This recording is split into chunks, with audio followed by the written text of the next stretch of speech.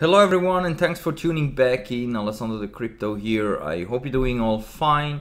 So we have a lot to discuss today. We're gonna analyze the DXY CME chart and the spot market as usual. So I think we can start straight here in the one hour time frame because Bitcoin yesterday created this rising wedge which currently is breaking out to the downside and my target is still to reach this 10k level potentially even lower to retest also this uh, 200 daily moving average and meanwhile also close the CME gap that we have at $9,600 so this is still why I'm not in a trade currently. I'm still waiting here for a good long entry and also to rebuy some cheap Bitcoin. Once the CME gaps get filled and maybe also the 200 daily moving average is tested. Because we had now a weekly close yesterday it's a good and bullish weekly close. We're gonna have to see it later when we get to the weekly time frame. So let's start here with the one hour Currently the RSI is dropping below the 50 level and we are trading below all the moving averages. So the 20 and 50 right now are lining up here at $10,200. So I think as long as we're staying below these moving averages, the momentum is clearly shifted to the downside, even here in the lower time frames. And we should expect here some more pushes to the downside. So here the one hour is looking once more bearish. If we go over to the CMEs, you can see that currently we also have a future gap here up to $10,600 which you can only see here in the one hour time frame. Also here we have the RSI dropping here into oversold condition.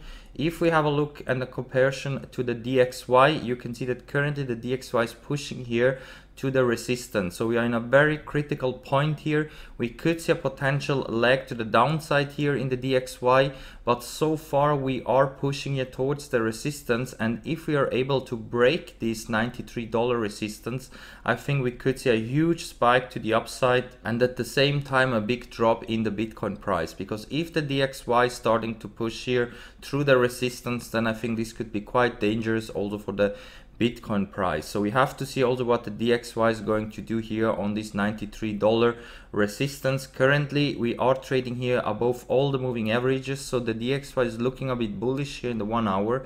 We are also trading above the 50 level. So this could be a bit dangerous for Bitcoin. And now let's open up here on the Bitcoin price also the Bollinger Band because here as you can see we're trading right at the bottom.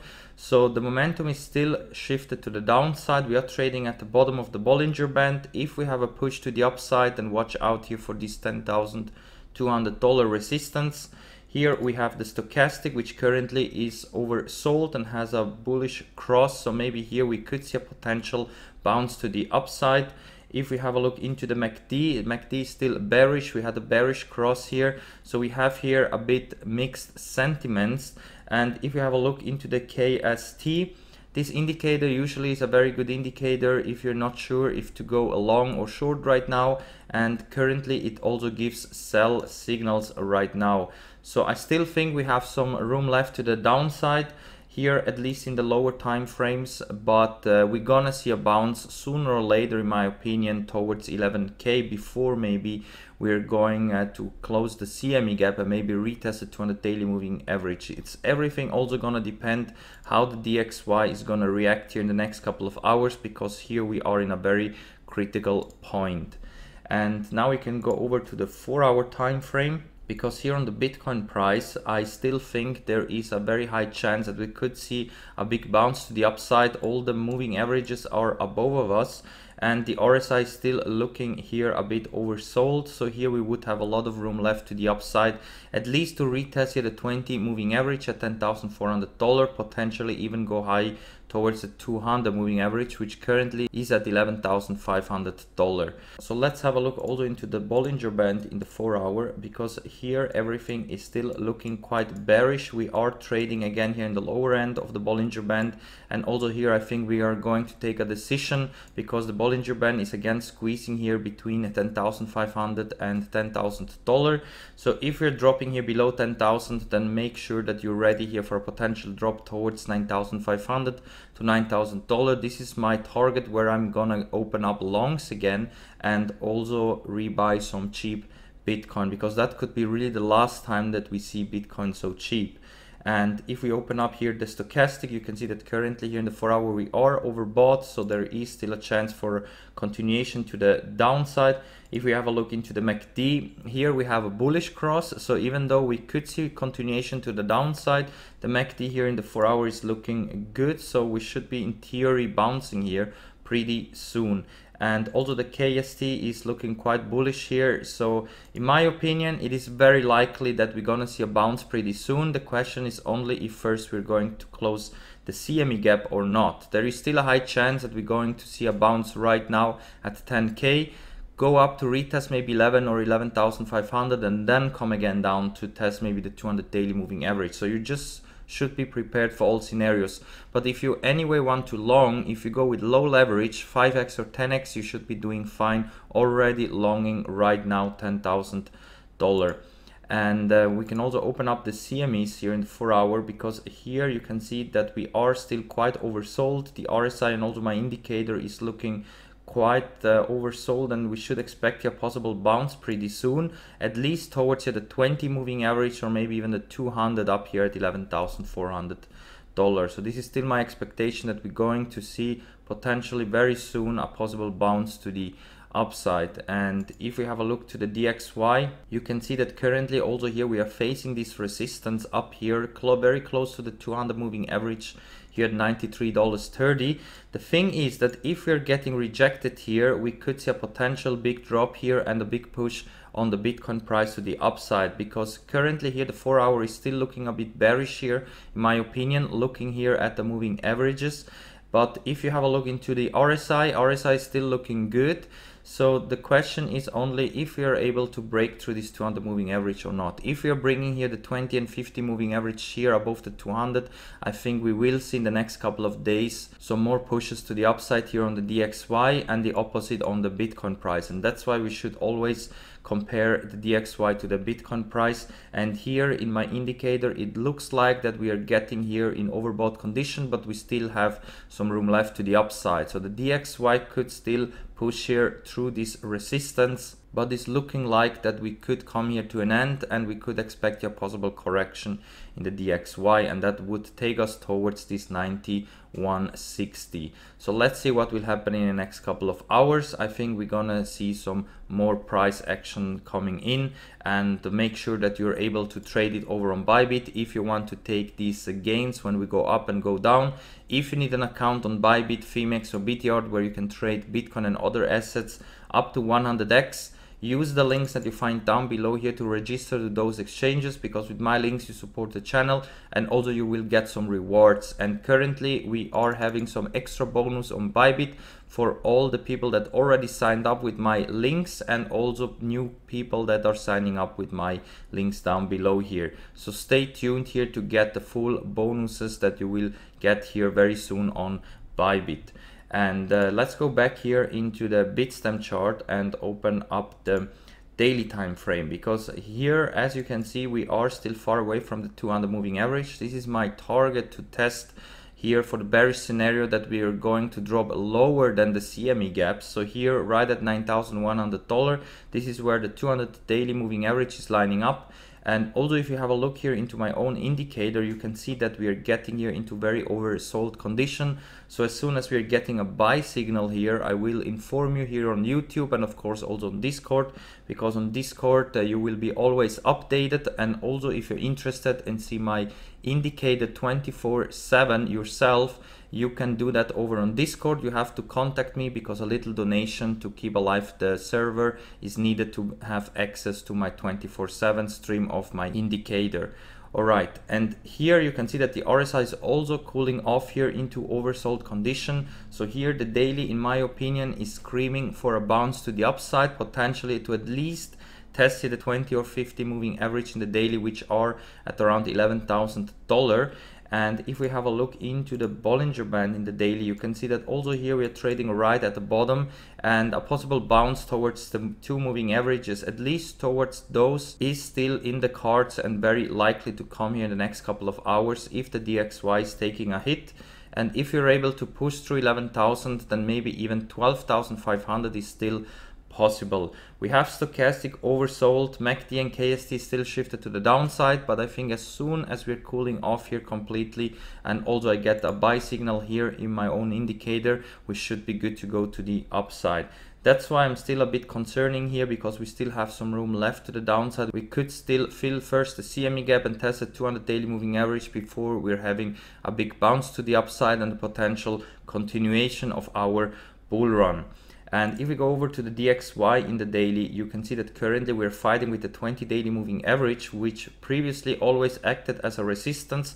So in theory, we should see a big fall from here in the DXY, but there is also still a chance that we could break through and maybe test the 50 or 200 moving average also here in the DXY and that of course would be catastrophe for the stock market and also for the Bitcoin price. But that is possible. And even if the DXY would reach these levels we would still remain bearish because all the moving averages are shifted to the downside. And since the 20 and 50 daily moving average would remain below the 200 this would be very bearish for the DXY even though we could reach those levels up here.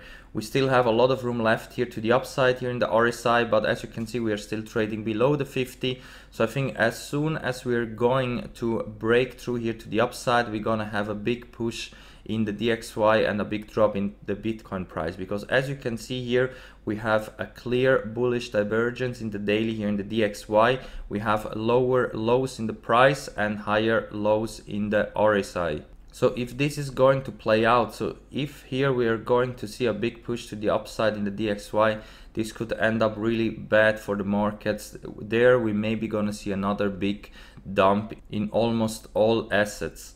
So this is what we have to keep an eye on here because if the DXY is starting to push it to the upside, then this could lead into a bigger crash also in the Bitcoin price.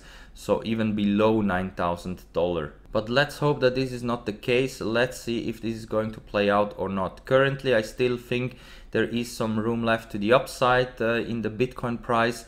So I don't think that the DXY is so strong to push through here. But if so, then watch out for a major crash and if we have a look into the CMEs here in the Bitcoin price also here you can see that there is still a high chance that we come down here to at least fill the CME gap and potentially also test the 200 daily moving average before we're gearing up here for a major move to the upside. And now let's go back to the spot market and open up the weekly time frame because here you can see that we had a very bullish close here above the 20 weekly moving average. That is very bullish for the Bitcoin price and as long as we're closing weekly candles above we are still on our way to the upside. So this is always a good entry point if you plan to buy bitcoin. But since i still have some warning signs that we maybe could drop even lower I think it's not a bad idea to maybe wait to at least fill the CME gap or test the 200 daily moving average before you're re-entering here in the market. The good thing is that the RSI cooled off right now into the 50 level. So this is also why I'm expecting here a possible bounce to the upside. And even if during the week we're gonna trade below the 20 weekly moving average, important is that we're not gonna close a weekly candle below. And if we go over to the CME chart, here you can also see that currently we are perfectly testing this moving average again. And also here there is a very high chance that we may be weak down to close the CME gap and then continue our bull run and that's why also we have to keep an eye here in the DXY in the weekly because if here we're going to see a follow through here so another push to the upside potentially also here to test the 20 weekly moving average at $95 because here I got the buy signal in my indicator and on Bitcoin I got the sell signal in the weekly time frame. So if we are seeing this happen, then prepare for a big drop in the Bitcoin price. And that's why you should be prepared for all scenarios. And this is also why I'm still a bit concerned to open up longs right now but if you're able to manage your trade so if you don't go in with high leverage you should be doing fine wherever the price is going. Alright guys, and with that said I'm gonna wrap it up. I hope that I don't scared you too much with this video. I just wanted to give a big warning out because there is some very bullish signs on the DXY which could lead into a big crash not only in the Bitcoin price but also in some altcoins and also in the stock market. This is what we have to consider in our bias and I know a lot of altcoins are bleeding but also pumping at the same time as soon as Bitcoin is going a bit higher So at the end, of course, some of them, they will be a good buy for the next bull run, but be careful with the altcoins. Some of them, they will of course perform very well. They will also stay here for the next couple of years like we had all these ICOs and new coins coming out 2016, 2017. Some of them disappeared, some of them they are still here. So make sure that you know what you're buying when you're buying some altcoins. If you want to buy into the safe bet where you maybe don't gonna realize the biggest gains, but at least you can be sure that in 10 years it's still here, then just go and buy Bitcoin and you should be doing fine. But diversifying into some altcoins, of course, is good, especially when we are dropping like this. You will buy it at a very great discount price. So thank you very much for watching my friends. Don't forget to subscribe to the channel, moon up the likes, leave me any kind of comments you want and also feel free to use all the links that you find down below here in the video description. For sure you can use some of them to get some free cryptos and also to get some rewards. So thank you very much my friends and we're gonna see us all in the next one. Bye!